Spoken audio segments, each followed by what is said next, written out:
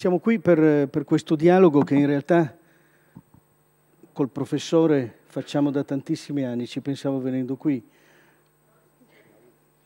Beh, dal 2001 su Repubblica, ma in realtà quante volte sono venuto da, da ragazzo quando facevo il cronista, sono venuto da lei per cercare di capire alcuni fenomeni che riguardavano quella che allora era un tutt'uno, chiamavamo la fabbrica, no? chiamavamo la fabbrica i fenomeni dell'industria, i fenomeni legati al lavoro, dentro però una concezione che avevamo, il professore ha sempre studiato questi temi, io faccio, faccio il giornalista, quindi c'è una sproporzione, nel senso che lui è uno scienziato di queste materie, ha scritto parecchi libri, io me ne occupo perché è la cronaca che ce li, ce li mette davanti, è un, è un obbligo che noi abbiamo e naturalmente anche per un interesse molto forte.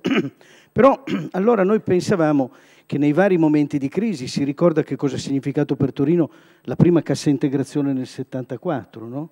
quando è arrivata la cassa integrazione alla Fiat e sembrava che quello che pareva un processo di crescita infinito, che poteva soltanto continuare ad accumulare, ad andare avanti, si fosse per la prima volta interrotto, fu uno shock in qualche modo.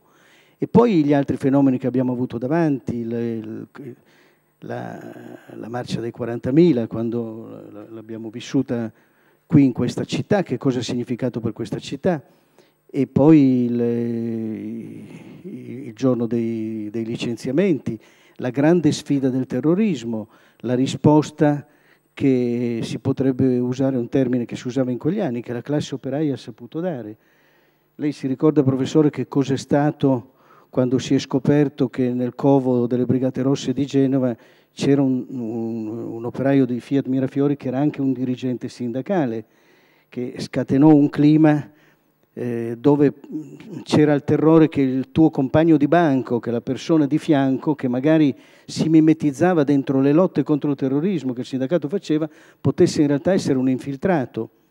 Mi ricordo che, che venne in Grau, che era presidente della Camera, e non bastavano le, i locali che il Partito Comunista, che pure allora era una grande organizzazione, aveva, lo portarono alla Camera di Commercio e Ingrao spiegò che tutte le conquiste che erano state fatte per migliorare l'orario di lavoro, per migliorare le condizioni del lavoro, cozzavano in modo irrimediabile contro quell'ideologia che si permetteva di uccidere in nome distorto di un'idea. Tutto questo si è si è agitato intorno al tema del lavoro, ma c'era un elemento fisso, c'era un elemento che il lavoro era una risorsa quasi naturale, potremmo dire così, nel senso che eravamo abituati al fatto che il lavoro c'era. Tutto il resto attorno poteva cambiare, prendere delle forme anche tragiche, prendere delle forme inedite.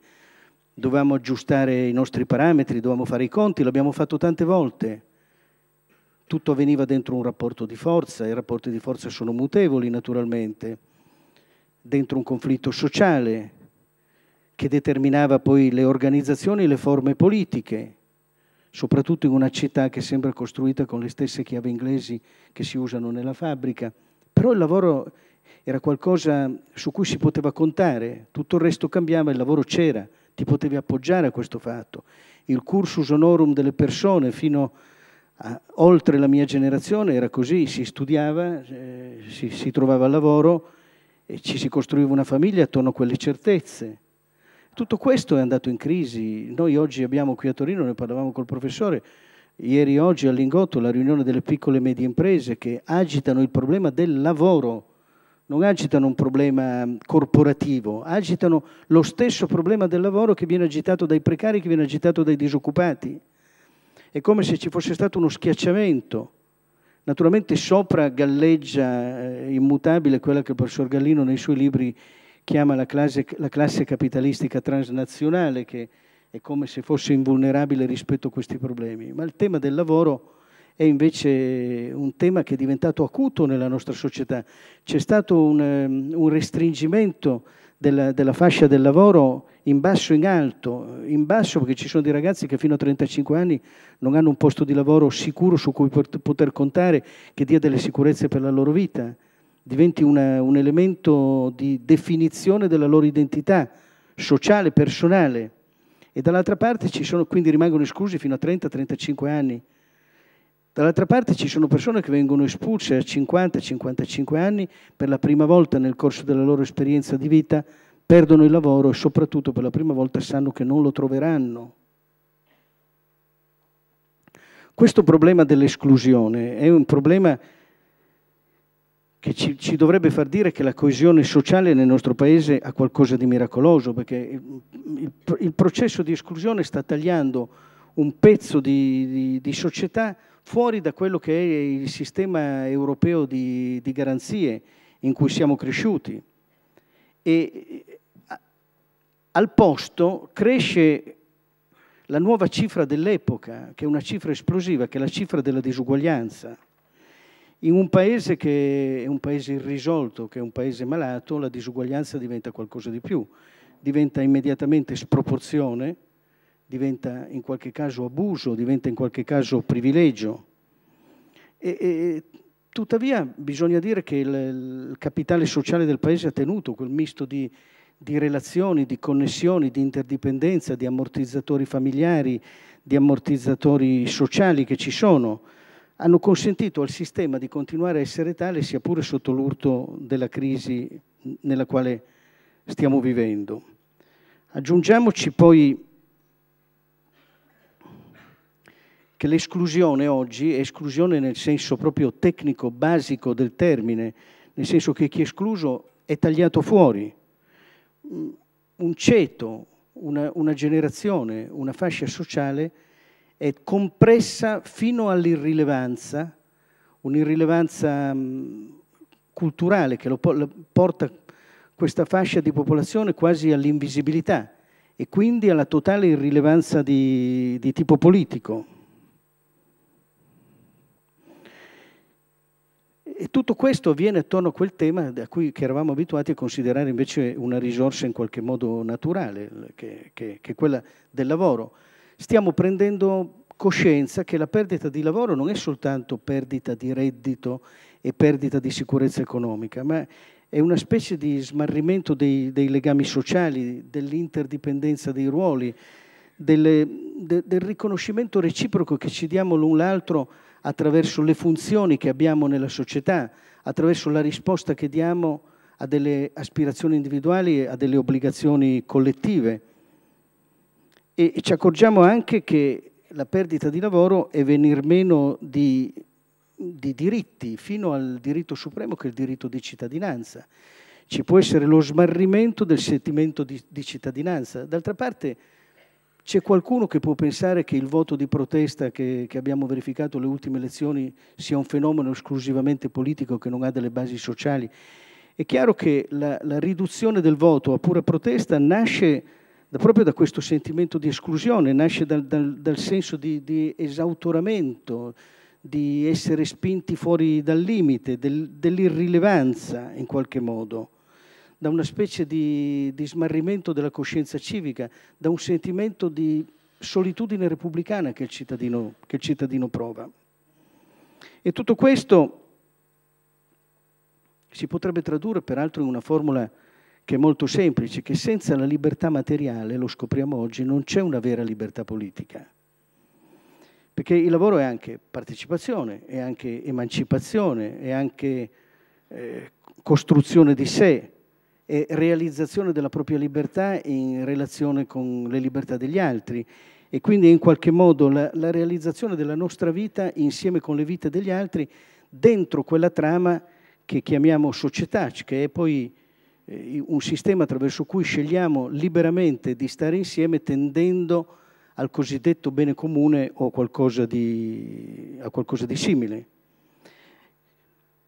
Se, se, si rompe il nucleo di valori che sta dentro la, la società del lavoro in Occidente, salta tutto questo. Eh, per gli individui va addirittura in crisi, su questo abbiamo ragionato col professor Zagrebelski, che è il presidente Biennale Democrazia, in un dialogo che abbiamo fatto qualche anno fa, per gli individui va addirittura in crisi il rapporto con la democrazia, perché quando io non sono in grado di far fronte per la mancanza di lavoro a quelle che sono le mie obbligazioni fondamentali rispetto a quel nucleo di società che mi interpella più da vicino, che la mia famiglia, quando io non sono in condizione di rispondere ai bisogni fondamentali e anche alle aspirazioni legittime di realizzazione, di crescita dei miei figli, è chiaro che io posso dire alla democrazia eh, tu non mi servi, tu non mi interessi perché tu sei un insieme di formule vuote, ma soprattutto non hai delle, delle risposte da darmi per quella che è la mia, la mia, vita concreta di tutti i giorni. Sei un insieme di principi di fronte ai quali io mi inchino, ma che sto scoprendo per la prima volta che non valgono per me, nell'unica cosa che conta, la quotidianità della mia vita. E quindi, ancora peggio, la democrazia, possono dire gli esclusi, è qualcosa che viene predicata per tutti, ma che vale soltanto per alcuni. È un regime che vale soltanto per gli inclusi, per i protetti, per i garantiti, ma che sconta in qualche modo l'esclusione degli altri. Naturalmente le disuguaglianze sono state forti, lo sappiamo benissimo, anche nei decenni del dopoguerra che, che abbiamo vissuto. Eh, in qualche caso le disuguaglianze sono state odiose, ma il sistema politico, sociale e economico in cui vivevamo e il suo orizzonte culturale era qualcosa che tendeva all'inclusione.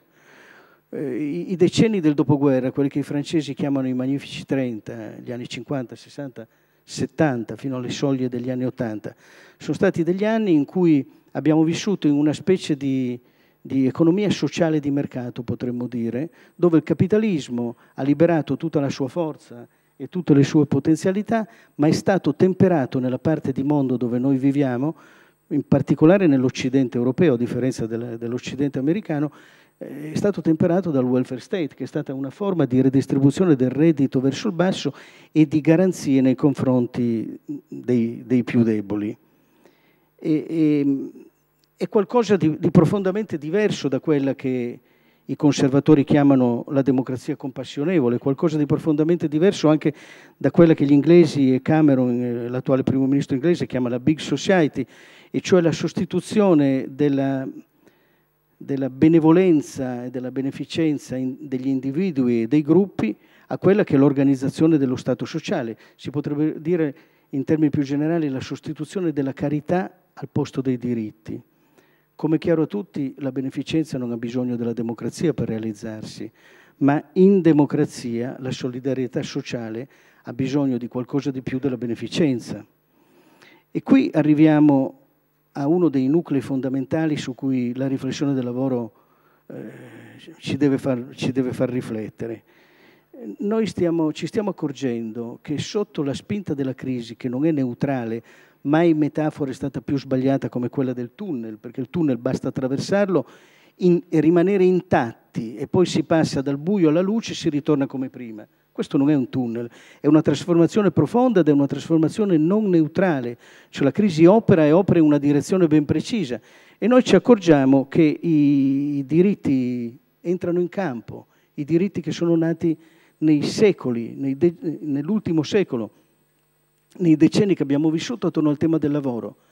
Noi vediamo tutti i giorni nelle cronache dei giornali, basta pensare all'IVA, basta pensare al referendum di Pomigliano, noi vediamo che i lavoratori si trovano a dover scambiare sotto l'urto della crisi, sotto l'urto della crisi, quindi come se fosse qualcosa di oggettivo, come se fosse qualcosa di inevitabile, i diritti e il lavoro. Che cosa scegli? I tuoi diritti o scegli il lavoro? Se affermi i tuoi diritti perdi il lavoro. Come voti? Che libertà c'è in quel voto? Che libertà c'è in quell'istituto referendario? Questa è una domanda che ho fatto su questo palco a Marchione quando Repubblica Febbraio ha organizzato eh, due giorni di dibattito intorno al tema del lavoro che avevano il titolo Fondata sul lavoro, la Repubblica fondata sul lavoro. Quando io devo scambiare i miei diritti, di cui sono consapevole, nei quali ho vissuto nei decenni precedenti, ma arrivati a questo punto io mi trovo a dover decidere di ridurli, di scambiarli, di ridimensionarli, perché altrimenti perdo lavoro, eh beh, che tipo di libertà ho in questa scelta? E quando, come nel caso dell'ILVA, io devo scambiare i diritti con la salute, che tipo di libertà c'è in questa scelta? Quindi noi prendiamo atto per la prima volta, per la prima volta nel dopoguerra, che i diritti che sono nati attorno al lavoro nel corso dell'ultimo secolo sono dei diritti nani in qualche modo, cioè sono dei diritti minori rispetto agli altri, sono dei diritti subordinati, sono dei diritti condizionati, sono delle variabili dipendenti rispetto a tutti gli altri diritti. Guardate che non lo accetteremmo per gli altri diritti. non l'accetteremmo. Sono delle variabili dipendenti che possono venire revocati se la crisi lo chiede. Eppure fanno parte di quel paesaggio democratico, di quella democrazia materiale, l'abbiamo chiamata con Zagrebeschi, cioè di quel paesaggio di fondo nel quale noi viviamo, fanno parte di quella democrazia materiale che, nella, nella quale abbiamo vissuto fino adesso, che va a beneficio di tutti indipendentemente dal ruolo che ognuno ha avuto nella definizione di quei diritti. Ma la cifra complessiva della democrazia che si determina negli anni dall'acquisizione di quei diritti è una cifra il cui dividendo va a beneficio di tutti, del padrone come dell'operaio, perché è la condizione della democrazia nella quale noi viviamo. E tuttavia, poiché questi diritti nascono dentro la fase negoziale e quindi sono soggetti a rapporti di forza e soprattutto, anche se non lo dice nessuno, perché questi diritti che nascono dal lavoro costano in quanto rispondono a delle spettanze, come li chiamano i costituzionalisti, a delle spettanze, cioè a dei, degli obblighi che si creano attraverso il lavoro, questi diritti possono venire revocati quando, quando c'è la crisi e sono dunque comprimibili, come non accade per gli altri. Provate a mettere in discussione che qualcuno dica c'è la crisi, bisogna ridurre il voto alle donne, bisogna riportare dai 18 ai 21 anni il voto per, per, per tutti, bisogna non avere più la scuola dell'obbligo perché costa troppo, bisogna ridurlo. Ci ribelleremo tutti, non accetteremo questa revocabilità dei diritti, ma nel caso del lavoro sì, ecco perché sono diritti nani nel senso di diritti minori, però una novità a cui non eravamo abituati. In questo modo il lavoro torna a essere semplice prestazione, non è più creatore di diritti, non è più un attore della dinamica sociale, culturale, quindi politica di un paese, è qualcosa di disincarnato, torna a essere pura merce, perde ogni valore simbolico, perde ogni valore generale, perde ogni valore, ogni significato di tipo politico. E questo accade perché il liberismo, dopo aver generato la crisi, eh, si sta imponendo come il paradossale antidoto della crisi. E sembra che sia l'unica religione superstite per le democrazie occidentali esauste, incapace di produrre una cultura alternativa. Non c'è oggi un confronto culturale e non c'è soprattutto una cultura in Occidente, in Europa, che sia capace di mettere insieme capitale, lavoro, welfare state e sicurezza sociale in un modo diverso, in un modo nuovo, eh, fuori dal paradigma che palesemente ha fallito, che tuttavia continua non solo a ingombrare il campo, ma a dominarlo, perché non c'è una cultura diversa.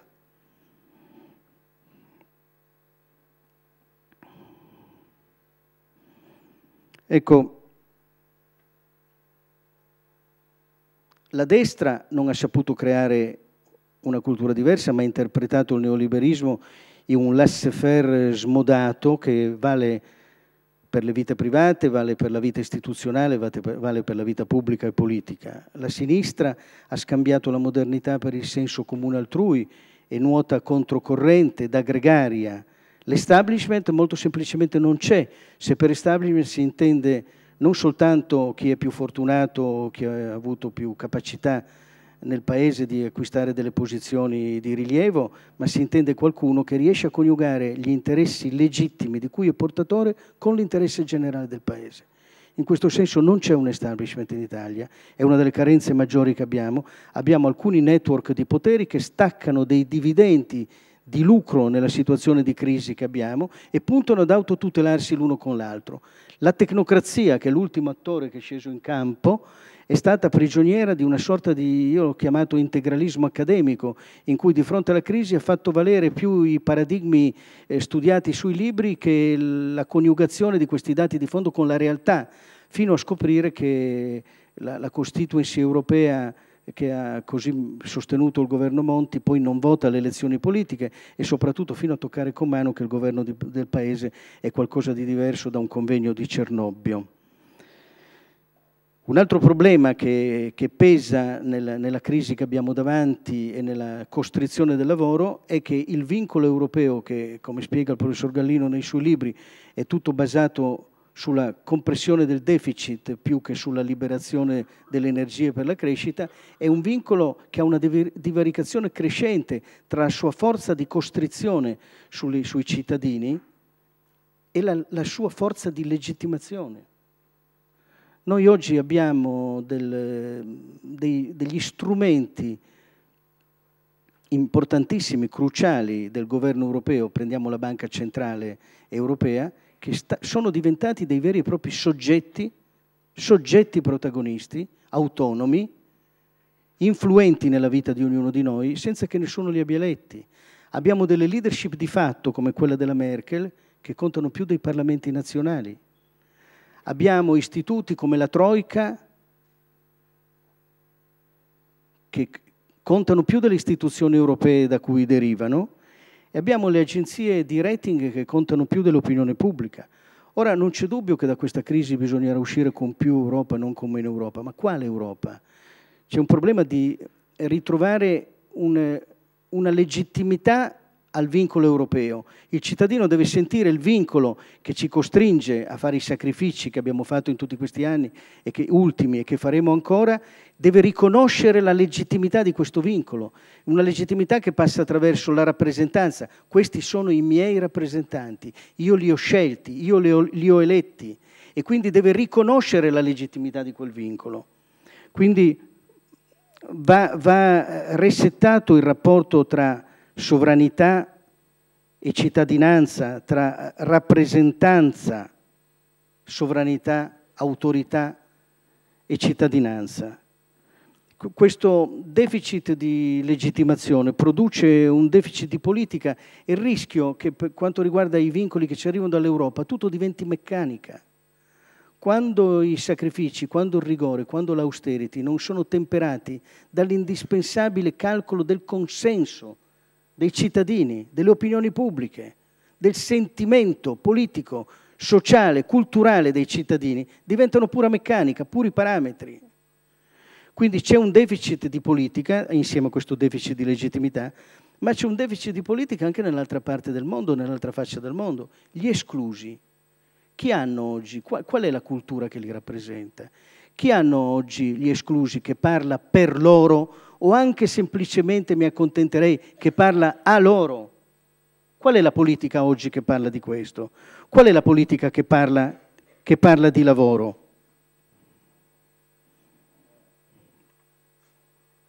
Un, un lavoro che quando c'è ha bisogno che i suoi diritti vengano difesi e quando non c'è ha bisogno che qualcuno dica che questo è un problema di libertà.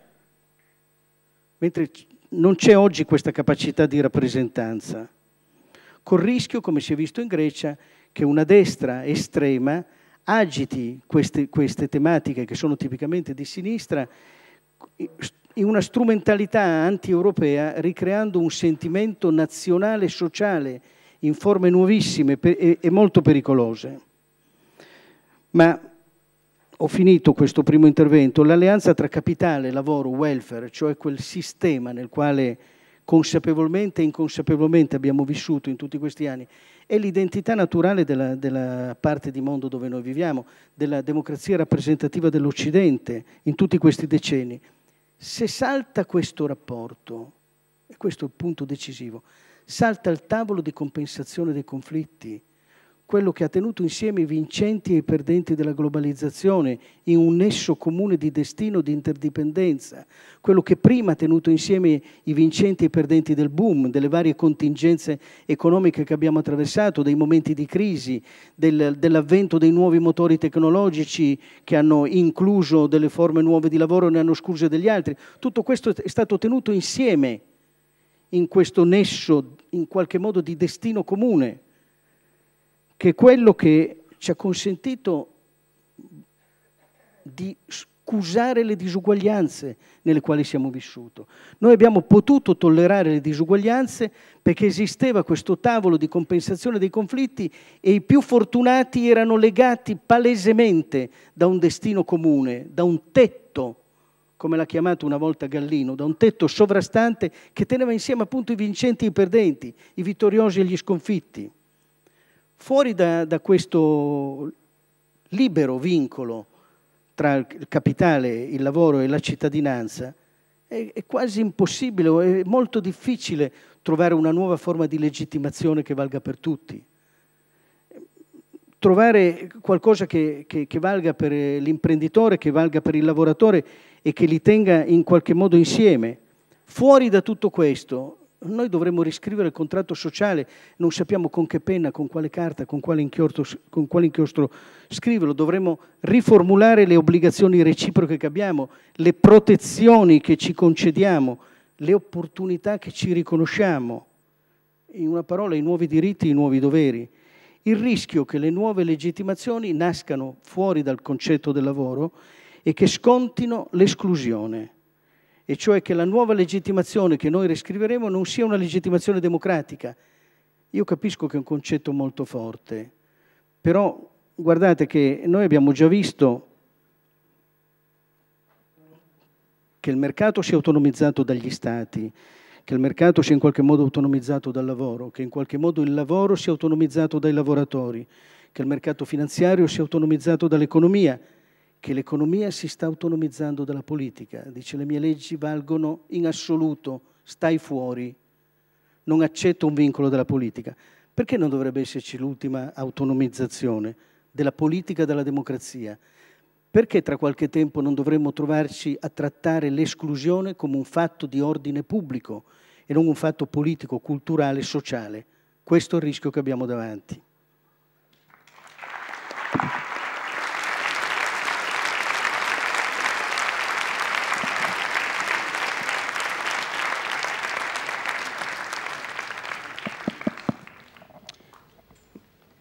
Buongiorno a tutti. Eh, vorrei parlare soprattutto di, eh, di lavoro, di eh, disoccupazione e dei modi che eh, bisognerebbe eh, cercare di, eh, di, di, attuare per, per, creare, per creare, lavoro. parto da una considerazione di fondo. La perdita del lavoro, la disoccupazione, il lavoro precario, mm, sottopagato, l'inattività eh, non voluta ma eh, inevitabile dinanzi al fatto che il, il lavoro semplicemente non c'è e sono, sono, una delle ferite eh, principali che si possono infliggere all'esistenza di una persona, di una famiglia, di una comunità, di un intero paese come il nostro, ma eh, questo qualcosa di simile avviene anche in altri, eh, in altri paesi. Eh, disoccupazione, non lavoro, lavoro precario, non significa soltanto perdita del reddito o reddito scarso, significa molte altre cose. Eh, vorrei citare a questo riguardo le parole di un costituzionalista che è americano in, in questo caso, che è interessante citarle anche perché eh, gli Stati Uniti eh, non è precisamente il paese in cui i diritti del lavoro siano più fervidamente sostenuti.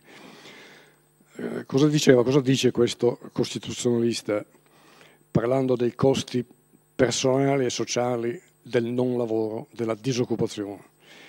Diceva, se un lavoro stabile, adeguatamente pagato, è una fonte di indipendenza, la sua assenza significa dipendere da altri. Se il lavoro è un percorso verso la, la realizzazione personale, la sua assenza significa fallimento. Se il lavoro offre la possibilità di salire su per la scala socio-economica, la sua assenza vuol dire che la propria posizione sociale è bloccata o in declino. Se provvede sicurezza alla famiglia, la sua assenza comporta insicurezza. Se sollecita la stima di altri, la sua assenza significa vergogna. Sono aspetti, al di là della perdita di reddito, al di là della stessa, della stessa povertà, eh, perfino al di là delle disuguaglianze che bisognerebbe avere ben presente quando si parla di, eh, si parla di, eh, di lavoro. la cosa eh, intorno a cui dobbiamo ragionare è che cosa mai è eh, avvenuto, dove è finito il, il lavoro, perché eh, è un problema per il nostro paese, un po' più grande che non in altri, ma è un problema grosso anche in molti altri, in molti altri paesi, compreso, compreso gli, eh, gli, Stati, compreso gli Stati Uniti. Beh, eh, il, siamo dinanzi a un fatto che non è storicamente nuovo, ma è eh, nuovo negli ultimi eh, tre, quarti di, eh, tre, quarti di, secolo. Si sta parlando per l'Italia, ma anche per, per l'Europa, per la UE, di grande recessione. Prima o poi si dovrà usare un termine ancora più, eh, ancora più pregnante, ancora più esatto, eh, la grande stagnazione. Eh, che significa stagnazione? Stagnazione significa che eh, le imprese smettono di investire, smettono di rinnovare gli impianti perché eh, scoprono che le vendite calano, che i loro prodotti non, non vanno più sul, sul, mercato, scoprono che impianti che potrebbero produrre 100 in realtà debbono produrre 60 perché altrimenti non si riesce a vendere quello che si è, eh, quello che si è prodotto e, e, così via. Stagnazione eh, significa imprese che eh, richiedono sempre meno personale, sempre meno, sempre meno oh, lavoratori perché non sanno che cosa eh, eh, produrre, quanto produrre a chi in qualche modo, chi in qualche modo venderlo. E imboccano spesso, hanno imboccato spesso, soprattutto le grandi imprese, eh, strade sbagliate eh, cercando di comprimere soprattutto il costo del lavoro. Ma la compressione del costo del lavoro significa minore domanda e quindi eh, aumento della eh, stagnazione. Ma la stagnazione, cioè non proprio il blocco dell'attività economica, ma il rallentamento dell'attività economica, l'eccesso di attività, eh, di attività, produttive che tocca moltissimi settori, dagli elettrodomestici all'auto, agli auto, a, a quantità di settori, da dove viene? Ma viene dal fatto che il capitalismo non è propriamente un uh, sistema uh, economico che continuamente inventa, si rinnova, ha qualche piccola crisi ma poi rilancia, riparte, eccetera. No, il capitalismo è, un grande sistema economico, diciamo pure il migliore o il meno peggio che il mondo abbia finora inventato, che eh, ha dei lunghi periodi di eh, accumulazione, di sviluppo in cui si aprono nuovi impianti, si aprono nuove officine, si aprono nuovi uffici, si assumono milioni di, eh, persone, ma poi eh, inevitabilmente eh, cade in qualche tipo di eh, stagnazione. Per ripartire il eh, capitalismo ha bisogno di sferzate, ha bisogno di innovazione, ha bisogno di pungoli che possono venire o da grandi invenzioni e spesso vengono anche dal, dagli impulsi che eh, lo, Stato può, oh, lo, Stato può, dare.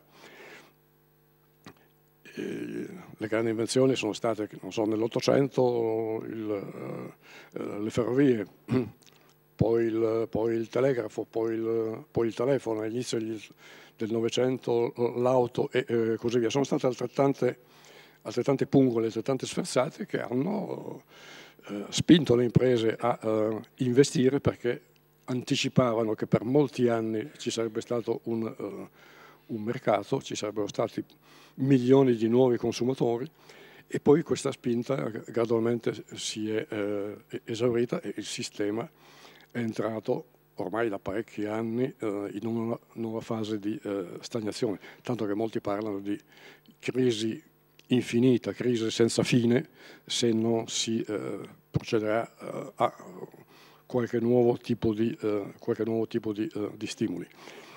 Eh, sistema economico stagnante è un sistema economico che non, eh, che non assume, che non crea lavoro, che, non, che se non è fermo lavora al, al rallentatore. Allora, che cosa fare? per creare, eh, per creare lavoro.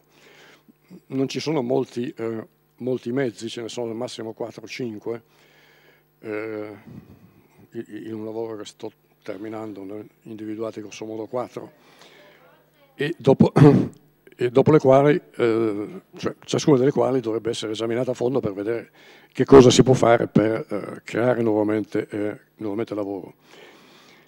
C'è la prima strada è quella delle grandi invenzioni, le grandi invenzioni che eh, permettono alle imprese grandi ricavi per lunghi periodi, come, mi ripeto, le ferrovie nell'Ottocento, l'automobile e gli elettrodomestici negli anni 50, 60, inizio anni 70, parte centrale del Novecento, poi la ICT, informatica e telecomunicazione verso la fine del secolo e eh, il primo decennio del, eh, del 200, del 2000.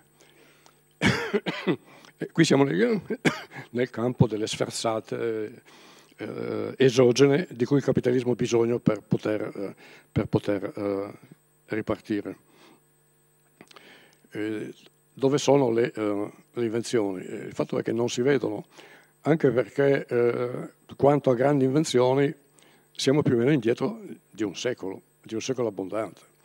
Le grandi invenzioni che hanno cambiato il mondo sono state le ferrovie, uh, 1840 in poi, sono stati il telegrafo, intorno al 1870 il telegrafo connetteva, come si dice oggi, in tempo reale le borse di Parigi, Berlino, eh, Londra, eh, Londra eh, New York, con una velocità comparabile più o meno a quella del, uh, della, della, posta, della, posta, uh, della, posta, elettronica. L'aereo è esordito ai primi del Novecento, ma sulla base di studi precedenti. L'auto è stata inventata nel, nell'Ottocento. Il Novecento è stato un grande perfezionatore e che ha eh, avuto il merito di portare eh, al, eh, alla portata, alla, all'altezza del, uh, degli redditi delle famiglie eh, nuovi, eh, tutta una quantità di nuovi eh, prodotti che hanno migliorato indubbiamente la, la vita. Però al momento di grandi invenzioni che servono da sferzata per poter far ripartire l'intera economia atlantica Europa e Stati Uniti, magari anche quella eh, dei paesi eh, emergenti, propriamente non si vedono, si continuano, si continuano a perfezionare, probabilmente eh, ci vorrebbe qualche nuova grande invenzione che per il momento però non, eh, non si vede. Una seconda strada per creare occupazione è eh, la spesa pubblica. Eh, oggi la UE soprattutto, ma anche gli Stati Uniti, sono un po' sotto la cappa della isteria del deficit, eh, mentre il deficit di bilancio è stata per secoli uno strumento indispensabile di, di, politica, eh, di politica economica. Sta il fatto che storicamente una strada efficace per creare occupazione è stata la spesa pubblica, a volte sotto forma di molte grandi eh, opere infrastrutturali, spesso, anche oggi in minor misura, ma nella parte centrale del Novecento è stato determinate le spese, in, uh, le spese belliche, le spese in, uh, in uh, armamenti. E oggi si potrebbe pensare non tanto a grandi opere perché eh, eh, il lavoro lo fa la tecnologia, lo fanno le, eh, i grandi mezzi di produzione, non lo fanno le persone e bisogna pensare a, a migliaia di piccole eh, opere ad alta intensità di, eh, di lavoro. Comunque eh, quella è la seconda strada. Una terza strada è, eh, è lo Stato che crea direttamente eh, posti di, posti di lavoro come hanno fatto ad esempio gli americani durante il New Deal tra il 33 e il 37, eh, 38 quando sono stati creati circa 15 milioni di posti di lavoro e la disoccupazione è stata eh, ridotta dal 25% al, al 14% con, molta fatica ma anche con un, con un, discreto, con un discreto, successo. E poi c'è la strada che è, è un po' quella che eh, segue il nostro governo ma segue anche eh, gran parte del, dell'Europa, è quella delle politiche fiscali eh, lo Stato riduce le imposte alle imprese per incentivare ad assumere, c'è una leggina ad esempio che dice eh, vi diamo 10.000 mm, euro per ogni eh, neolaureato che assumete, eh, alleggerisce un po' le eh, imposte alle eh, persone, si parla da noi di riduzione del cuneo, del cuneo, fiscale, anche se quelle non sono propriamente imposte, ma sono contributi che eh, lavoratori e imprese versano per eh, eh, il sistema sanitario e soprattutto per le, eh, per le pensioni. sta il fatto che lo scopo ultimo delle politiche fiscali è quello di far aumentare la domanda aggregata lasciando una maggior disponibilità di denaro a imprese e contribuenti. Il problema dove sta? Il problema è che i nostri governi non solo l'ultimo con particolare durezza, ma già i, eh, i governi eh, precedenti hanno eh, pensato soprattutto a questa eh, quarta eh, strada per creare occupazione, che è quella delle politiche fiscali, che significa distribuire a pioggia un pochino più di eh, reddito a tante famiglie affinché queste aumentino la domanda. È una strada sostanzialmente poco, poco efficace per tanti motivi. Il primo motivo è che non discrimina eh, tra i posti di lavoro, tra i tipi di lavoro che vengono creati. Va benissimo creare un posto di lavoro in un uh, uh, fast food, però nel quadro di una certa idea di società forse potrebbe essere più interessante creare un posto di lavoro più o meno allo stesso costo in un centro di ricerca o, o magari in una scuola che hanno un posto per, per insegnante. Poi c'è il fatto che se le famiglie dopo oh, anni di eh, recessione eh, hanno un pochino più di, eh, di, soldi, che significa poi qualche centinaio di euro l'anno nel, nel migliore dei casi, e non è detto affatto che li, vend- che li eh, impieghino per eh, aumentare la domanda e magari li impiegano per eh, ricostituire i, i, risparmi o restituire i debiti fatti con i parenti o con gli amici, ma piuttosto eh, fanno questo piuttosto che, eh, che eh, spendere. Inoltre c'è il problema che le imprese non è che leggendo sulla gazzetta ufficiale che il 2 gennaio è entrata in vigore la, uh, la tale legge che offre incentivi per l'assunzione di giovani diplomati o laureati, si precipitano ad assumere. E aspettano di vedere che cosa succede, aspettano di vedere se la domanda aumenta. E invece di assumere a gennaio, forse assumono qualcuno a, a, a, novembre o non assumono affatto. Insomma, vi sono molti studi che dicono che questa è la strada meno efficace per creare lavoro e anche la strada seguita dal nostro governo eh, e da quasi tutti i governi europei per cercare di creare eh, occupazione in confronto di una disoccupazione che solo per quanto riguarda il dato diretto dei disoccupati secchi, disoccupati veri e propri, quindi lasciando da parte precari, ha superato eh, nella UE i eh, 25 milioni di, eh, eh, di, persone, più di 4 in, eh, di 4 in, eh, in Italia.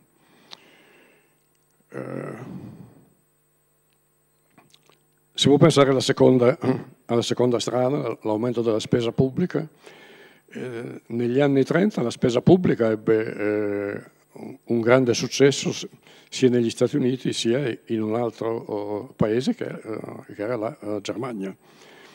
Uh, in Germania furono costruite le, le autostrade, furono prodotte a basso prezzo milioni di radio, perché era un buon sistema per eh, diffondere la propaganda del regime, e soprattutto furono spese quelle che oggi sarebbero miliardi di euro per, eh, per eh, armamenti. Negli Stati Uniti, come ricordavo, ci fu il New Deal. Il New Deal fu un grande caso di civiltà del, del lavoro, anche se il suo successo non fu completo perché ridusse il, uh, il tasso di disoccupazione dal 25% al 15% e naturalmente i critici dicono eh, ma perché non l'avete ridotto al, al 3% o al 5%? Fu poi ridotto allo 0,5% quando incominciarono nel 1940 le spese di uh, armamenti, le spese uh, belliche. Però il, uh, il, New Deal si fondò su tre grandi agenzie, non starò a ricordare i, i nomi, eh, che eh, nel giro di tre mesi assunsero 4 milioni di persone e poi in parecchi anni ne assunsero 15 milioni a carico dello, a carico dello Stato. E eh, non lo fecero, come dice qualche critico, per eh, far sì che i, i nuovi assunti dallo Stato scavassero buche che altri poi riempivano. Hanno eh, ricostruito, strutturato 100.000 scuole, hanno uh, ristrutturato uh, uh, centinaia di migliaia di, di chilometri di, di, strade, sia di strade asfaltate sia di strade sterrate nelle, nelle campagne. hanno costruito dighe immense come quella della valle del, uh, del Tennessee, hanno tolto dalla strada, soprattutto dai sobborghi uh, degenerati delle grandi città, milioni di giovani e li hanno uh, addetti a ricostruire, espandere e risanare i grandi parchi nazionali. Durante il New Deal furono piantati nei primi 3-4 anni un miliardo di alberi e furono ristrutturati quasi tutti e ampliati i grandi parchi i grandi parchi, eh, i grandi parchi nazionali. oggi si parla anche di un New Deal per, per l'Europa, ma dato che, come ricordava opportunamente il, il direttore Mauro, dato che eh, il liberismo imperversa nelle menti dei politici eh, europei, eh, pensare a qualcosa di simile a un New Deal per, per l'Europa non è un'opzione che sembra ancora, ancora praticabile, anche se forse bisognerebbe cominciare seriamente a, a pensare eh, non tanto a grandi opere e meno che mai ovviamente ad a armamenti, ma uh, a migliaia di piccole opere, a decine di migliaia di piccole uh, opere ad alta e altissima intensità di, uh, di, di lavoro per la loro, per la loro natura. Eh, c'è il problema delle scuole che non sono a norma di sicurezza, c'è il problema del riassesto eh, idrogeologico dell'intero paese, c'è il problema degli acquedotti che perdono il 40% dell'acqua tra la sorgente e il, uh, e il uh, rubinetto. Uh, c'è il dramma dei trasporti regionali, chiunque viaggi regolarmente su qualche treno regionale sa che cosa voglio dire. Ci sono i, eh, i, problemi della mobilità eh, nelle città, eh, ci sono 20.000, parlo solo dell'Italia naturalmente, ci sono 20.000 autobus urbani che cascano a pezzi e che bisognerebbe eh, eh, sostituire per eh, far sì che il trasporto in città sia una cosa, una cosa civile. Non mancano le migliaia di piccole opere su cui si potrebbe investire. C'è poi una certa strada che naturalmente è ancora più indigesta a chi pensa che lo Stato debba essere sempre più piccolo, sempre meno impegnato, sempre più disinteressato con i risultati che, eh, che vediamo. Uno dei, degli incredibili paradossi che ci, che ci, stanno addosso, che ci affliggono, e l'ha ricordato opportunamente eh, Ezio Mauro eh, prima, il disastro è stato causato dalle teorie politiche, economiche, eh, anche sociali, civili eh, del, eh, del, neoliberalismo o liberismo come voglia eh, si dire. E eh, adesso le ricette vengono dalla stessa parte, che è come eh, constatare che un medico ha quasi ucciso il paziente e usare lo stesso medico per continuare a curarlo. Forse bisognerebbe cambiare il, il medico. La strada che volevo ricordare però è quella dello Stato che crea direttamente posti di, eh, posti di, eh, di lavoro. Si chiama in vari modi garanzia del posto di lavoro o, o Stato come eh, datore di lavoro di ultima, eh, di ultima istanza. Eh, in questo caso lo Stato non è che debba fare molto, deve stabilire delle regole e poi affidare l'assunzione effettiva ai servizi per l'impiego, alle regioni, ai comuni, al, volo, al volontariato, al partenariato, alle piccole imprese, una quantità di operatori locali sul eh, territorio, però lo Stato li, eh, li, paga direttamente per adibirli eventualmente a eh, eh molte, moltissime piccole eh, opere eh, alla condizione che gli assunti siano immediatamente messi al, messi al lavoro. Naturalmente la domanda che viene fuori, e che non posso approfondire qui, è ma chi paga, uh, ma chi paga questo? E, eh, per intanto nella stessa domanda c'è qualcosa di distorto, perché eh, non è che la disoccupazione non costi nulla, la disoccupazione costa decine di miliardi di euro l'anno di mancata produzione, mancato PIL, mancato valore eh, aggiunto, mancati redditi alle famiglie. Vuol dire miliardi di entrate per lo Stato in, uh, in meno, vuol dire meno contributi per i, uh, eh, per la protezione, per la protezione eh, sociale. E oltre a questo si, pot si, potrebbero anche pensare a varie strade anche a livello europeo se i nostri parlamentari, quelli nuovi almeno, ripensassero al, uh, all'enorme errore che hanno fatto approvando in 448 al, all'unanimità uh, tanto la modifica della Costituzione per l'inserimento in essa del pareggio in bilancio quanto del patto uh, fiscale che impegna il nostro Paese a rientrare dal debito a un ventesimo l'anno, scendendo dal 125% al eh, al 60% in 20 anni, che vuol dire un costo intorno ai 50-60 miliardi eh, eh, l'anno, se mai ci, eh, eh, ci ponessimo, ci, ponessimo, oh, ci ponessimo mano. bisognerebbe che nell'agenda politica, nell'agenda per il nuovo governo, tra i cittadini, si dibattesse finalmente di queste cose. Abbiamo dinanzi a noi un problema che sta diventando una catastrofe. Gli americani usano per casa loro il termine catastrofe senza girarsi tanto intorno. Eh, in alcuni paesi europei le cose vanno un po' meglio, ma non molto.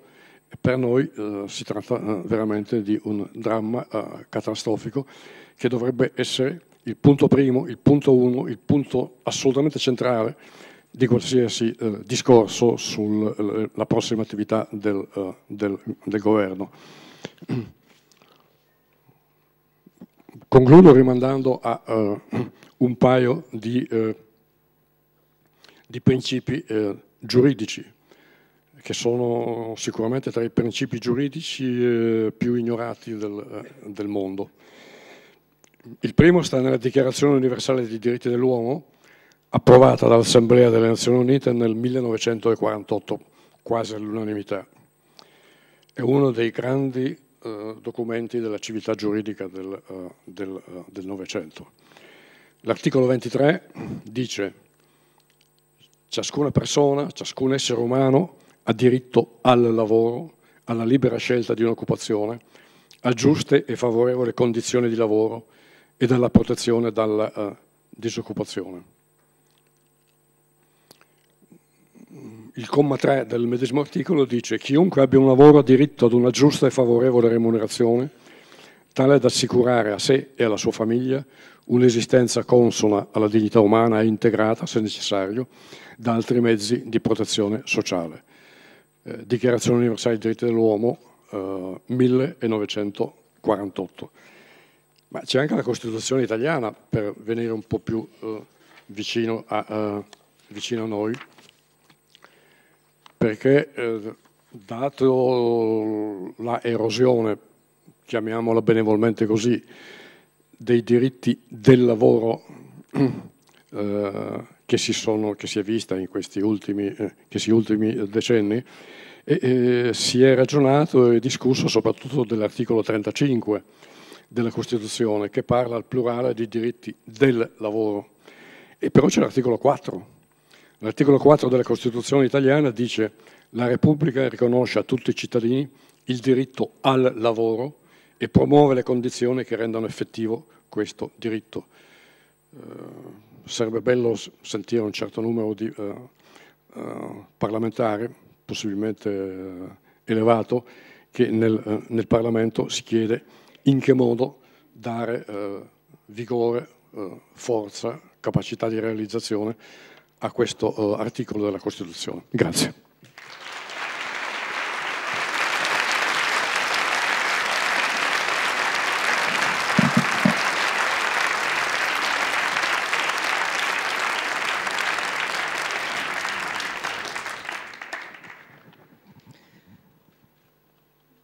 Abbiamo sentito queste citazioni della Costituzione su cui ci siamo trovati a riflettere negli ultimi anni. In realtà abbiamo dovuto arrivare fino ad oggi per capire che la formulazione dell'articolo 1 non è una formulazione retorica come potevamo forse pensare nei decenni precedenti, quando appunto il, il lavoro era, una risorsa fissa del nostro paese, che comportava anche poi alcuni vizi, un paese con una scarsissima mobilità, nel senso che il posto fisso era una, era una caratteristica particolare dell'Italia.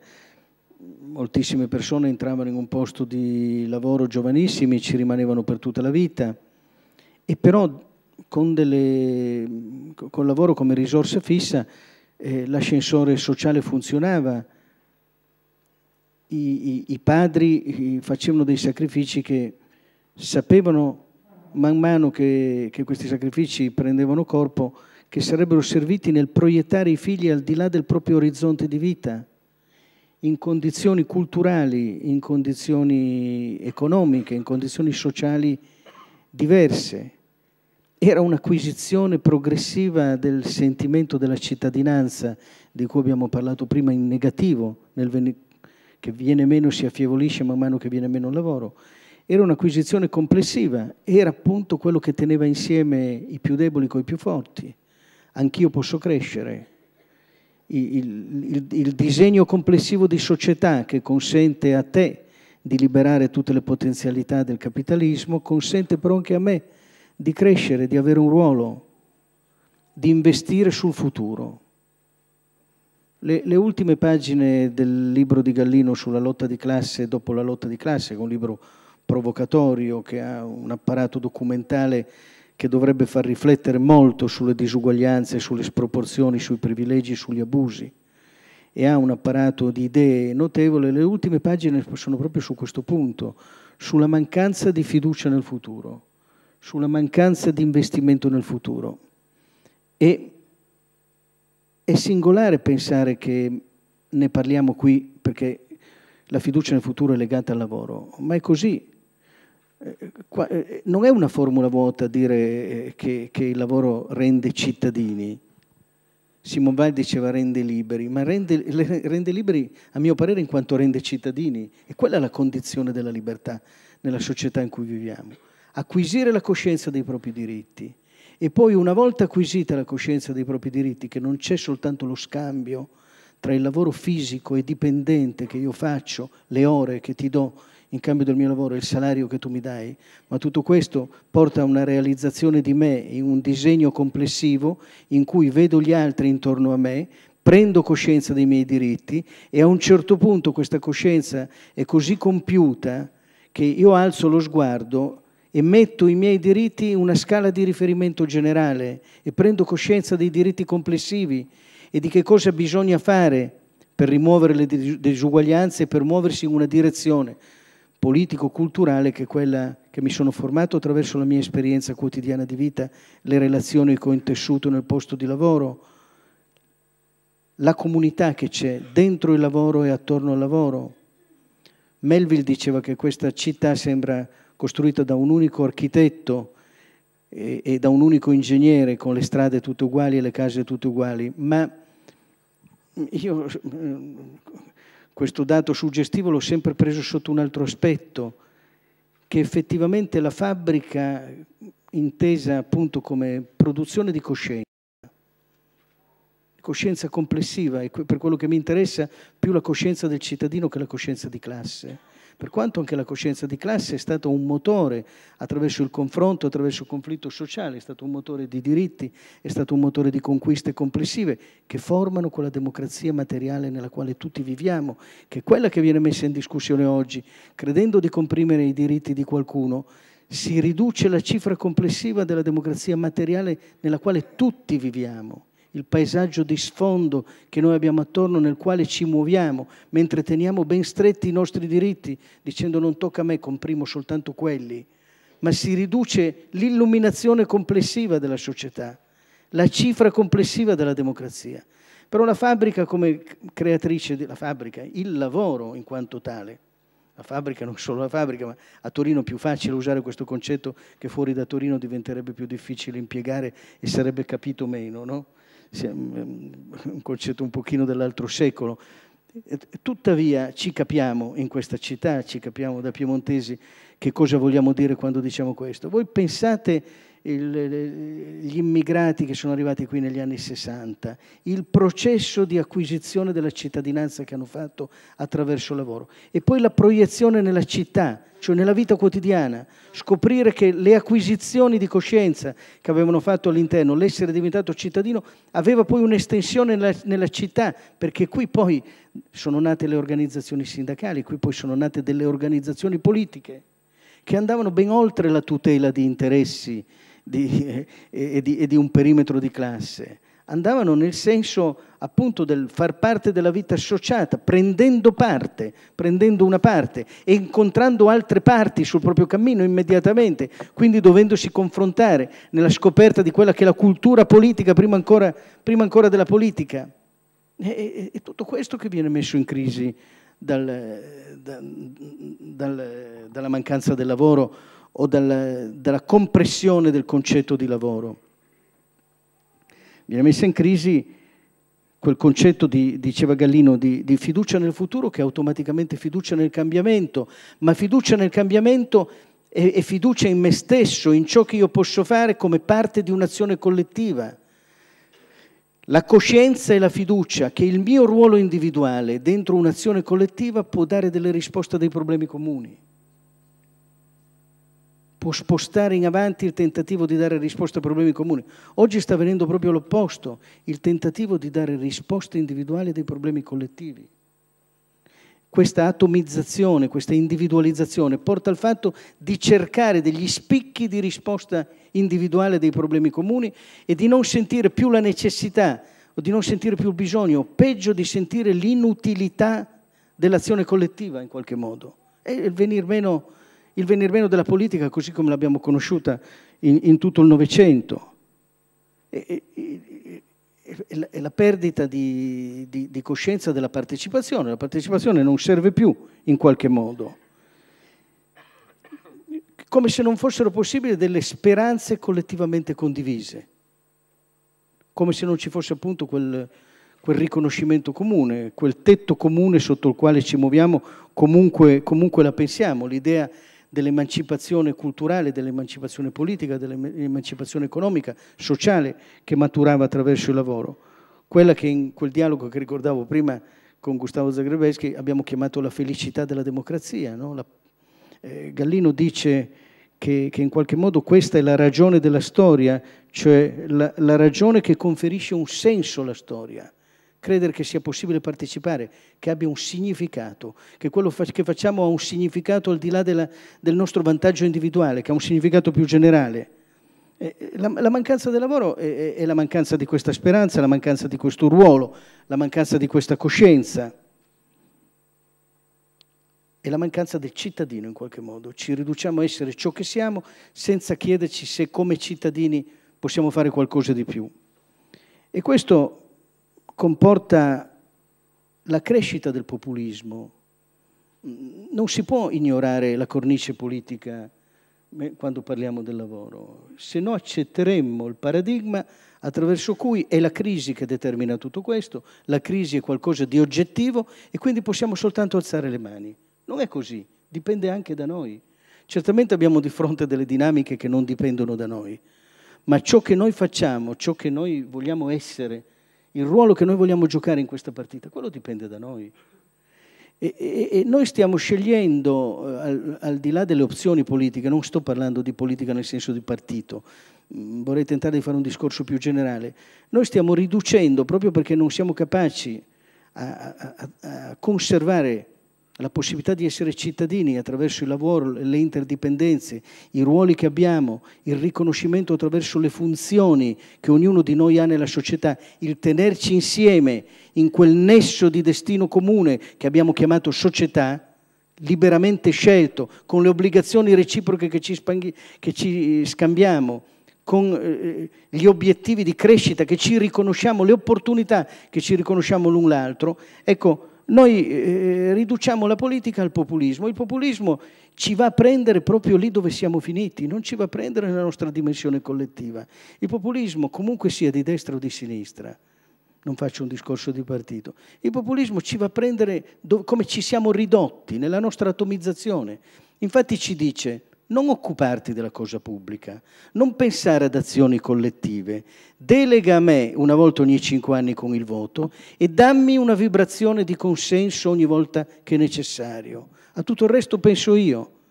E il mio discorso, il mio discorso politico, io populista, è un discorso che scorre in un senso soltanto, verticale, dall'alto verso il basso, non ha ritorno, se non sotto forma di applauso e appunto di vibrazione di consenso. Ma è questo il modello culturale di politica che noi vogliamo? Non è quello in cui siamo cresciuti, ma non è quello che vogliamo, perché non ci dà un ruolo, ci dà un ruolo esclusivamente passivo.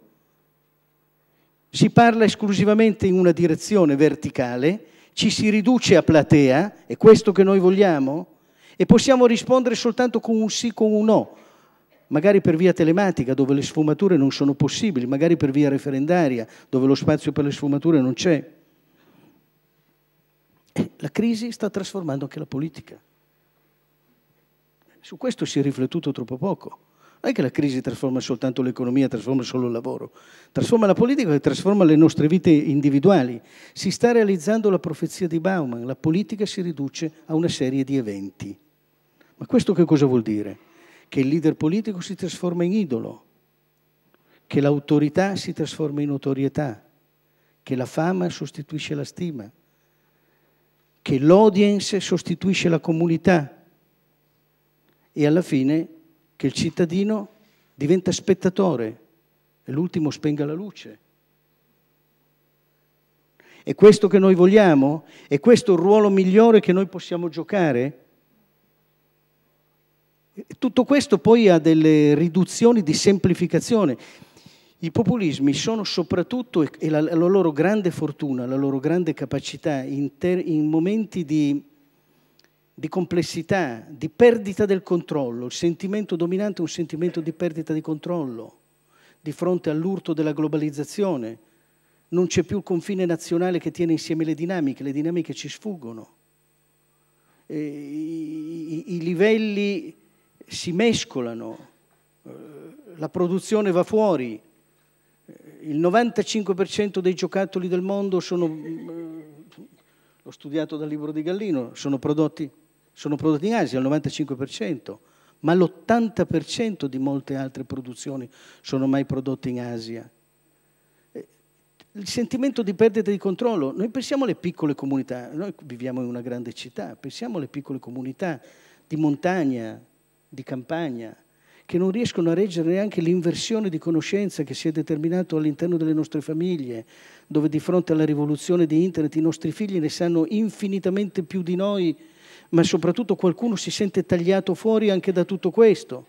In questo senso di spaesamento generale, di perdita di controllo, il populismo ha successo per le ragioni oggettive, perché è una semplificazione, è soprattutto semplificazione. Guardate anche l'ideologia dello streaming. L'ideologia dello streaming è semplificazione, ma dietro che concetto c'è? C'è un concetto di controllo, come se la politica fosse per definizione sempre, comunque, una cosa sporca, che ha bisogno di essere messa sotto controllo.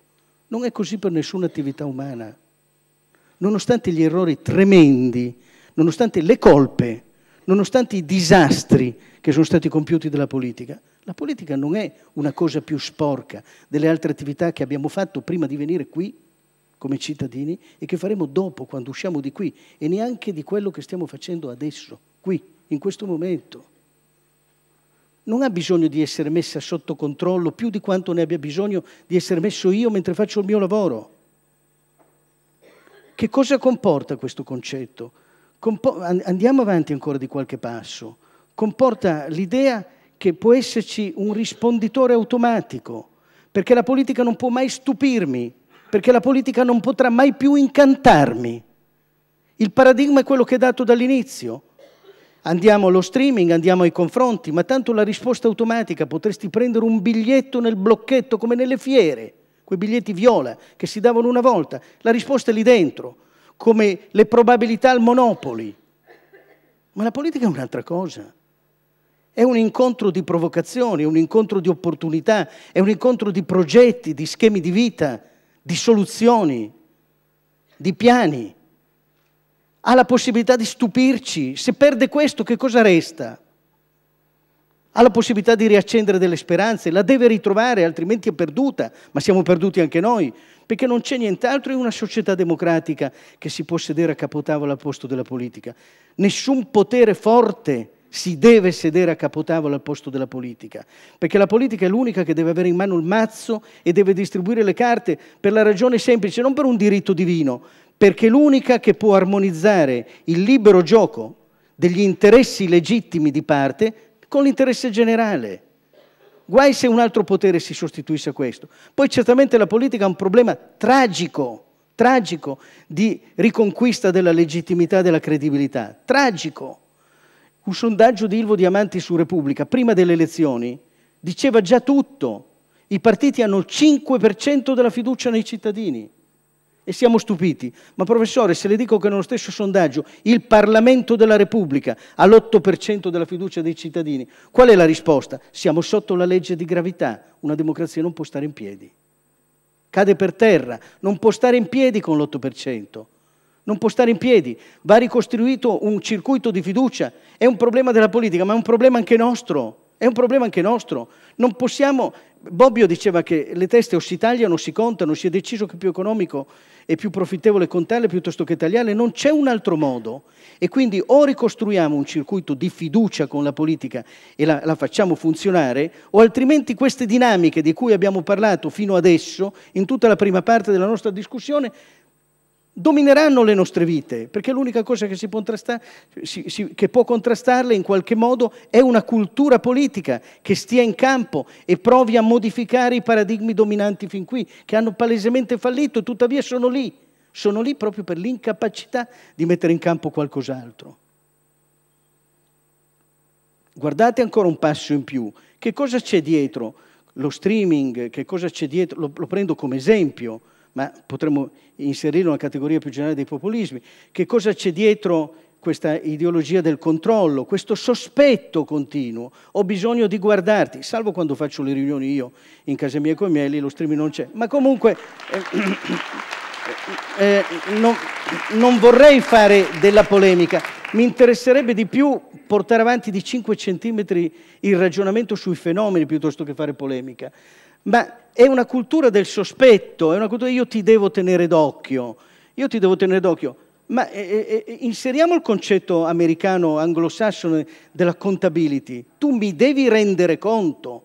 La parola chiave del discorso di insediamento di Obama eh, ci sono quei diagrammi su internet, eh, lei forse sa il nome, eh, dove le, la, la, costanza delle parole, la frequenza delle parole e il tono con cui le parole vengono usate dà una rilevanza ai concetti trasformati in parole diversa secondo l'uso che ne viene fatto. La parola chiave del discorso di insediamento di Obama è la parola responsabilità e non a caso la parola di un democratico che è arrivata dopo due mandati di un presidente conservatore. La responsabilità significa sapere che c'è un io e c'è un voi, che siamo uniti insieme non dalla delega che mi avete, dati, mi avete dato, ma dal fatto che io eserciterò la, la delega secondo il programma che ho fatto e ve ne dovrò rendere conto in qualche modo.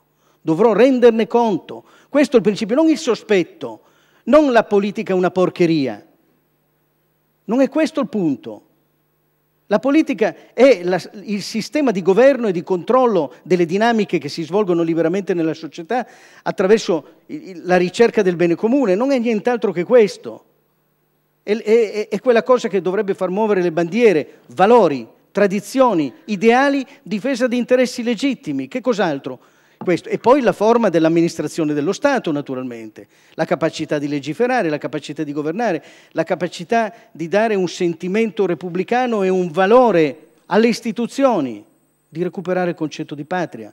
È difficilissimo, tutto questo in crisi, tutto questo usurato, tutto questo è arrugginito nel nostro paese, ma non è con la cultura del sospetto, è con la cultura del rendiconto. Io vorrei chiedere molto di più del sospetto, non è che mi dà fastidio lo streaming, vorrei qualcosa di più, vorrei obbligare al rendiconto continuo, vorrei che i cittadini fossero cittadini consapevoli, consapevoli perché informati e quindi fossero in condizione di esercitare il controllo passo passo e poi quando vanno a votare fossero talmente consapevoli da premiare, da punire con il voto proprio perché hanno seguito il processo di questi anni.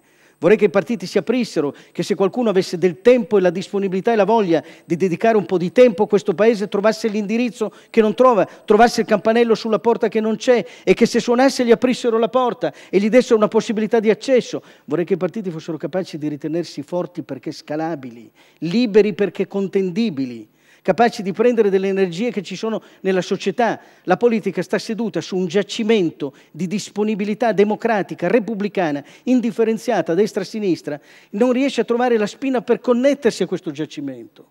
E ogni volta che dà la possibilità, persino con le primarie, io guardavo l'altro giorno le primarie per il sindaco di Roma, eh, dopo tutte le batoste che la gente del PD ha preso, queste persone, in parte di, di, mezza età, in gran parte di mezza età, che si affollavano ai banchetti di una domenica piena di sole mentre la gente cominciava ad andare a mangiare al mare, a Ostia, a Fiumicino, a Fregene, e sembrava gente che chiedeva dov'è il prossimo muro contro cui andremo a sbattere, che non, non, sappiamo trovarlo da soli, e però dava comunque una disponibilità, ma questo vale per la sinistra, ma vale in qualche modo anche per la destra, se la destra fosse capace di dotarsi di questi strumenti. C'è una disponibilità della, della gente, della, dei cittadini a partecipare, che andrebbe in qualche modo raccolta e che è la risposta alla presunta oggettività delle dinamiche che dicevamo prima e che è il tentativo di tenere aperta questa speranza di futuro che dicevamo prima. Ma la risposta non è nel sospetto, la risposta non è nel, nel, nel, nel, risponditore automatico,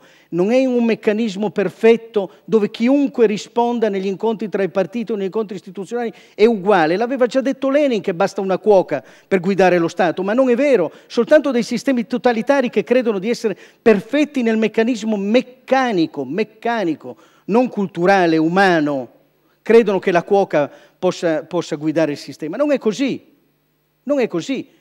Perché richiediamo professionalità in tutto? Nel calzolaio che ci risuola le scarpe. Si risuolano ancora le scarpe? Non lo so. Ma comunque, ci capiamo che cosa vuol dire. Perché richiediamo professionalità nell'idraulico che viene quando il tubo perde? Nel medico, accidenti.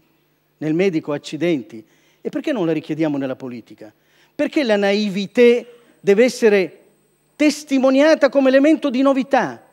Perché l'ignoranza qualche volta viene esibita come elemento di alterità, di differenza. Eh, ma sono ignorante, eh? Oh, non so dov'è il Senato della Repubblica. In qualche modo lo troverò alla fine di Google. Ma il problema non è se non sai dov'è, il problema è se sai cos'è. Se sai cos'è.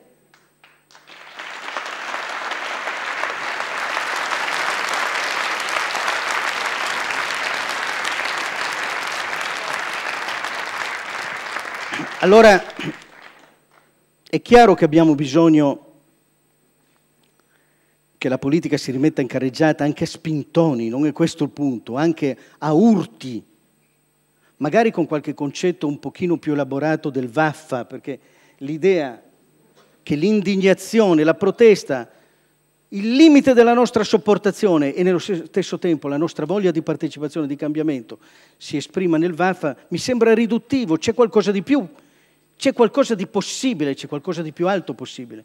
E poi lo streaming può essere superato dalla capacità di pretendere che chi fa politica dica negli incontri privati quello che dice in pubblico, che la parola dei politici sia sì sì, no no, il resto viene dal demonio.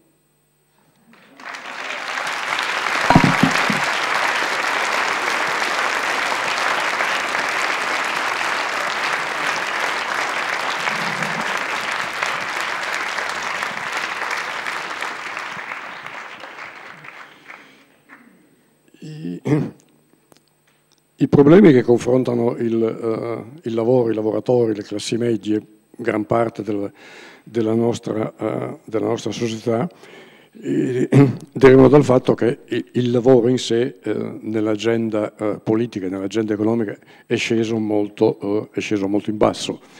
I, I, diritti, le retribuzioni, la distribuzione del, del reddito che ha visto le classi lavoratrici, le classi medie eh, perdere eh, 10 punti di eh, PIL, 10 eh, punti eh, sul PIL quanto a eh, volume totale delle, delle, retribuzioni, che è uno dei fattori centrali della disuguaglianza. Insomma, dobbiamo constatare un, un insieme di protratta indifferenza, sottovalutazione, in parte intenzionale, in parte eh, no, di eh, moltissimi problemi connessi al, uh, al, lavoro. Per intanto il diritto al lavoro, ma anche il diritto alla retribuzione equa, ai diritti sul lavoro e così via. Come mai? Che cosa è, uh, che cosa è successo?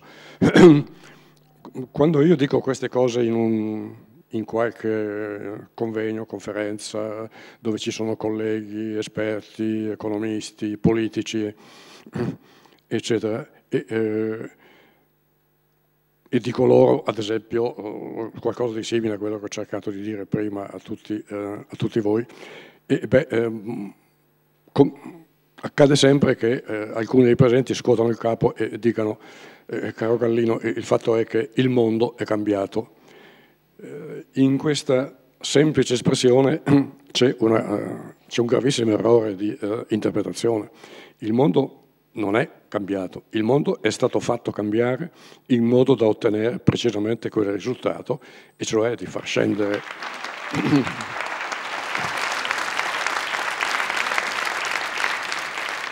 di far scendere il più in basso possibile i problemi del lavoro nell'agenda politica e eh, economica. Eh, due cose circa il modo in cui il mondo è stato fatto, uh, è stato fatto cambiare. uh, una a che fare con la uh, globalizzazione, ma parto da, un, da, una battuta di un, di un, imprenditore americano, un grande imprenditore primi del primo decennio del Novecento che si occupava, credo, di centrali elettriche, al quale un, uh, un amico, un, un socio, eh, diceva eh, qui eh, con gli operai è un problema perché eh, ogni tanto fanno sciopero, chiedono aumenti, eh, fanno delle storie se gli dico di lavorare un po' più in fretta, tu che cosa ne pensi? E questo rispose, ma il modo migliore per avere lavoratori disciplinati nella fabbrica e avere un, una lunga fila di eh, disoccupati al cancello che aspettano di avere un lavoro. Questo è stato realizzato a livello mondiale. Eh, la globalizzazione eh, è, un, è, stata soprattutto un insieme di politiche del lavoro che consisteva nell'andare a produrre là dove le retribuzioni, i diritti, eh, la tutela ambientale, eh, le condizioni di lavoro, gli orari, eccetera, eh, erano praticamente eh, al di fuori di eh, qualsiasi, di fuori di qualsiasi eh, regola. Eh, in gran parte la Cina, l'India, eccetera, sono una, uh, una creatura del, dell'Europa e degli, Stati, e degli, Stati, Uniti che sono andati a produrre là non soltanto perché così conquistavano come eh, eh, è giusto e come ci si aspetta che un'impresa capitalistica faccia, conquistare i mercati, eh, i mercati locali. No, si è andati là per produrre eh, molte cose che poi eh, ritornano nei nostri paesi sotto forma di, di, di eh, importazione fittizia. Come ricordava uh, Mauro prima, più dell'80-90% ad esempio dei, dei, microprocessori è prodotto in Thailandia, ma poi li compriamo e vengono come se fossero importati dalla uh, Thailandia, ma sono uh, prodotti americani che vengono là fabbricati perché hanno ormai i lavoratori locali, i tecnici dominano le rispettive, eh, le rispettive eh, tecnologie. E, eh, le cose sono un po' cambiate perché gli stipendi in Cina sono saliti, eccetera, ma insomma vogliamo tenere presente da dove si è partiti e quali sono ancora le eh, distanze. Eh, ci sono nel, nel libro che eh, Mauro ha citato ormai un po' troppo spesso, ma eh, alcuni dati di un, eh, un, senatore americano che è andato in giro nel Vietnam, nel Bangladesh eh, e altrove e ha fatto delle scoperte, e cioè che nel Vietnam, mm, diciamo due, due, anni fa, tre anni fa, quando ha fatto questo viaggio, la paga media era di 38 eh, centesimi di dollaro, però eh, nel frattempo, pochi giorni dopo, è andato in Bangladesh e ha scoperto che c'era stata una legge che aumentava il salario minimo da, eh, cito a memoria, da 27 centesimi di dollaro a eh, 38 centesimi di dollaro. Sono questi che, sono, eh, che compongono la lunga fila di eh, lavoratori disposti a tutto che premono sui diritti dei lavoratori eh, di tutto l'Occidente, di tutta l'Europa e anche degli Stati, eh, degli Stati Uniti. Gli Stati Uniti hanno pagato prezzi altissimi perché, come ricordava Mauro prima, interi settori industriali sono scomparsi. So, era un grande produttore di elettrodomestici, eh, l'America non produce più nulla, i giocattoli non, non parliamone, I, I, PC non c'è nessun PC che sia fatto in, uh, in America, i PC sono fatti tutti in, tra la Cina, la Taiwan, l'India e, uh, e altro. Quindi il mondo è stato fatto cambiare in modo da avere una lunga fila di cancelli fatta da un miliardo e mezzo di persone disposti a lavorare per 50 centesimi di dollaro o magari un dollaro l'ora quando eh, l'azienda è più, eh, è più progredita, più, più, più eh, produttiva e eh, anche eh, non rappresentati sul piano del diritto da nessuna formazione che si possa definire politica sindacale o, o altro. Il secondo aspetto del mondo che è stato fatto cambiare ha a che fare con la rottura di eh, tre tipi di, eh, tre tipi di eh, unità che hanno fatto la storia del movimento operaio, la storia dell'economia in gran parte negli ultimi due secoli, che eh, hanno fatto la storia del movimento, del movimento, sindacale. Che cosa è andato in pezzi, quali unità sono state eh, intenzionalmente eh, frantumate. La prima è eh, l'unità di, eh, di, tetto. Un tempo le eh, imprese producevano, quali che fossero, eh, producevano quasi tutto al proprio interno. La produzione era eh, quasi totalmente, eh, totalmente integrata. Un'automobile veniva prodotta al 100% no, ma intorno al 70-80% all'interno di uno stabilimento. eh, si è attuata una, uh, una forma di uh, delocalizzazione, di uh, distribuzione, di esternalizzazione che ha fatto sì che all'interno di un'azienda industriale o anche azienda di servizi, eccetera, eh, si cerchi di produrre il meno possibile. L'ideale è non produrre niente, far produrre da, uh, da, qualcun altro lungo una catena, quelle che si chiamano le catene di produzione o di creazione del valore sp sparse, per il, sparse per il mondo. La seconda unità che è andata, quindi l'unità di i tetti sono diventati, erano uno o due, sono diventati 10, 20 o, eh, o 50, naturalmente molto più eh, piccoli fanno le stesse cose, alla fine il prodotto viene fuori eh, eh, unitario, funziona, ma è stato prodotto in eh, decine, non solo di, eh, sotto decine di tetti diversi, ma quei tetti sono anche posti in molti paesi eh, differenti. La, una seconda unità che è andata in, uh, in pezzi, in frantumi, è l'unità di, di padrone. Una volta si sapeva chi era il padrone delle ferriere eh, no, eh, nei romanzi di Dickens, eh, ad esempio, per non parlare dei rapporti di, di Marx e di Engels sulla condizione operaia nel, in, in, Inghilterra intorno a, a metà del, dell'Ottocento, beh, lì c'era il, il, padrone, il proprietario, il capitalista, eccetera. e questo è durato per, per, molto tempo, ancora fin verso i, gli anni 30 del, del Novecento e poi in modo sempre più impetuoso e eh, soprattutto dopo il 1980 la proprietà si è totalmente eh, frantumata con l'intervento anche di nuovi tipi di proprietari come gli investitori istituzionali che sono i fondi pensione eh, alimentati dai risparmi dei lavoratori, eh, sono i fondi di investimento, i fondi, eh, i fondi speculativi, le compagnie di assicurazione eccetera che acquistano pezzi di eh, un'azienda, uh, sia essa quotata in borsa o no. E questo è molto difficile perché eh, le lotte operaie, le lotte del movimento operaio, le lotte politiche, le rivendicazioni, eh, le leggi si fanno pensando a un padrone, ma chi è il padrone? Chi è il padrone del, dell'Alcoa? Chi è il padrone di eh, fabbriche che stanno a settimo, ma che però fanno capo a una, uh, a una controllante finlandese che però eh, è in realtà dominata da una brasiliana in cui sono molto presenti gli investitori istituzionali. Con chi uno se la deve prendere è diventato veramente molto difficile perché eh, il padrone non si sa più bene chi, eh, chi, eh, chi sia e eh, molti sono enti difficilmente individuali con i quali comunque è molto difficile imbastire una, una rivendicazione, come il caso, ripeto, degli investitori istituzionali.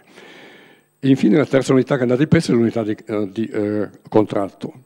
Uh, io ho lavorato da, da, giovane in un'azienda in cui c'erano già gli informatici, in cui c'erano gli addetti alle mense, in cui c'erano le persone che, che, curavano le piante che stavano negli, negli uffici, c'erano gli addetti ai trasporti che portavano con gli autobus gli operai su e giù per le, eh, su e giù per le valli e così via. Beh, eh, questi avevano tutti il contratto di un'azienda meccanica, che era un'azienda meccanica.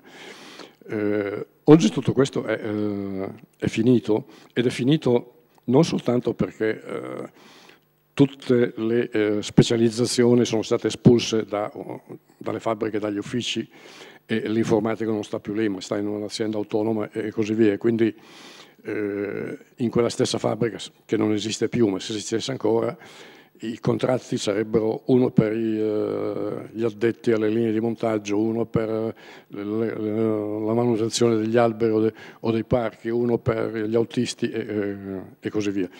Uh, non soltanto, ma stessa, nello stesso ufficio, nella stessa fabbrica ci può essere il dipendente che ha un contratto a tempo indeterminato, il dipendente che ha un contratto a tempo determinato, il dipendente che ha un, un contratto oh, parziale, a tempo parziale, che non gli va bene, ma però oh, o quello o, o niente.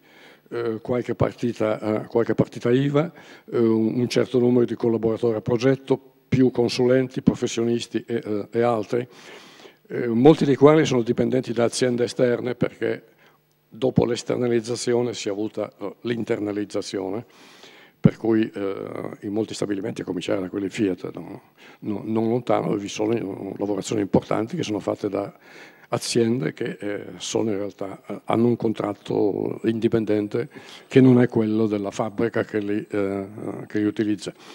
Tutto questo ha reso molto difficile eh, l'azione del sindacato, ha reso molto difficile la vita di eh, operai, impiegati, tecnici e, e, eh, e quant'altro, e eh, ha sostanzialmente eh, impoverito, eh, eroso le, eh, i diritti del lavoro, le, eh, le possibilità di, di rivendicarli. bisognerebbe smetterla di dire che il mondo è cambiato, ma dire che è stato fatto cambiare in un modo e a noi piacerebbe molto adoperarci per farlo cambiare in un altro senso. Grazie.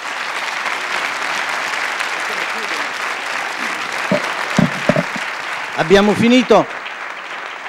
L'ultimo, l'ultimo intervento, il professor Gallino ha spiegato, secondo me, come se è vero che la disuguaglianza è diventata la cifra dell'epoca, una cifra che può essere esplosiva, la mancanza di queste condizioni, questi tre cambiamenti che ha, che ha enumerato, che avvengono attraverso il lavoro, eh, rende impossibile avere quell'orizzonte che cercava di contrastare la disuguaglianza e di ridurla. Non è tanto importante che ci riuscisse, in determinate fasi storiche si è riusciti, in altre fasi non si è riusciti, fa parte delle, delle dinamiche del confronto sociale, de, dello, dello, scorrere di, di, una civiltà. Però eh, l'importante era che ci fosse questo orizzonte culturale che tendeva a questo, perché questo è l'alimento della politica, è la trasformazione di un bisogno in politica in qualche modo, ed è quello che manca. Allora eh, Gallino dice che ho fatto troppe citazioni, faccio una del suo libro, che è una frase del, di un ex presidente della, della Banca Mondiale, James Wolfenson, che dice quando metà del mondo all'ora di pranzo guarda in tv l'altra metà che muore di fame, una civiltà è giunta alla fine. Buon pranzo.